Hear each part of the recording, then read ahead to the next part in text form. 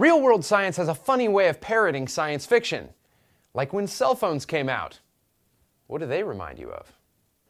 Captain's log, stardate 362436. I've beamed down to the surface and I'm surrounded by beautiful alien women. Note to Uhura, jam all communications. I mean it, Uhura. Stop calling. No feather fan dance you've ever done is half as good as this. Kirk out. Sometimes we seem to shape our own technological future. Somebody thinks something up, it's really cool, and then years later, there it is.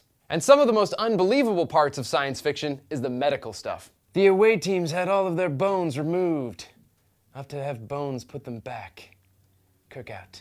Spine snapped in half, leg missing, brain exploded, no problem. We'll just grow you a new one.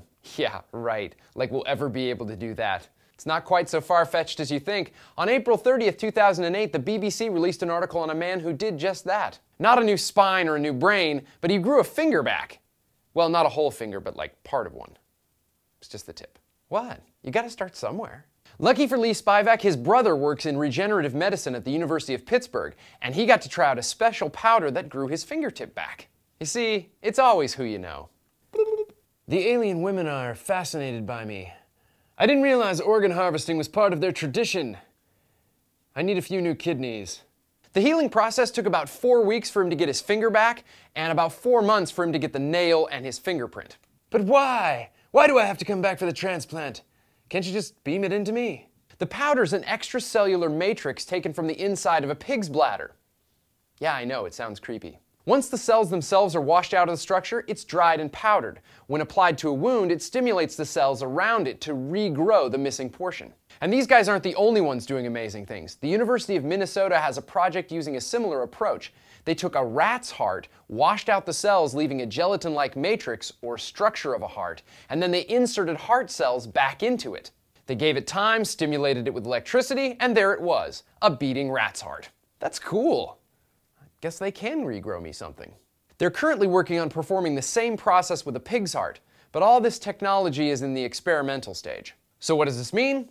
Well, if things go well, you could theoretically regrow organs with your own genetic material.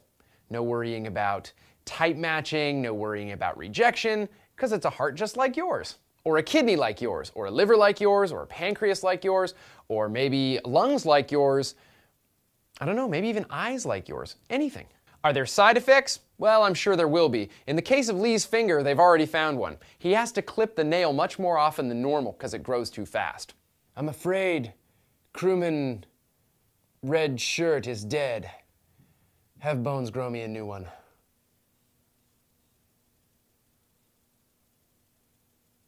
Stardate, haven't had one in a while. I'm sending the away team down for supplies.